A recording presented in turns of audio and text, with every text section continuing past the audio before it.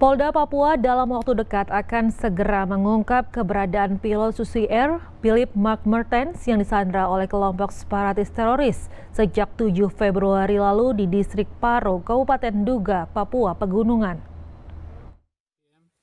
I've been instructed to read this statement.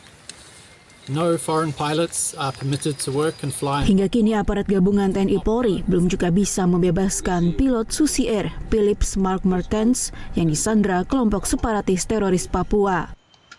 Kapolda Papua Irjen Pol Matius Devakiri mengakui dalam waktu dekat pihaknya akan segera mengungkap keberadaan pilot Susi Air tersebut.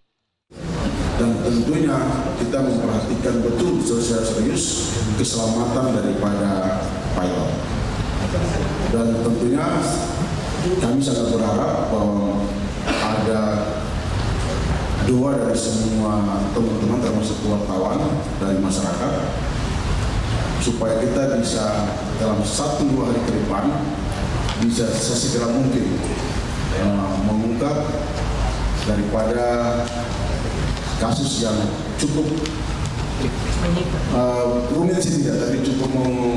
membuat kita harus mengeluarkan energi. Stop. Meski begitu, Kapolda Papua juga menekankan tentang keselamatan pilot yang harus diutamakan dalam proses pembebasan dari kelompok separatis teroris pimpinan Egyanus Kogoya. Hingga saat ini sejumlah pasukan gabungan masih dikerahkan untuk mencari dan menemukan keberadaan pilot Susi Air. Lokasi terakhir dari hasil pelacakan diketahui keberadaan pilot masih berada di sekitar Kabupaten Paro dan Lani Jaya. Rifan Donai, JPM TV, Jayapura, Papua.